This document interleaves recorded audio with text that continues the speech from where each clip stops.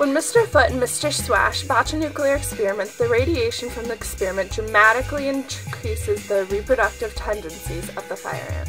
Fire ants, once small minorities in LA, have taken over the city. With their large numbers and highly toxic stingers, they have begun to kill humans. Animal control specialists Taylor Calero and Devon Bailey have been summoned with the fate of LA on their shoulders. Taylor and Devon travel to the city hall to discover how the invasion all began.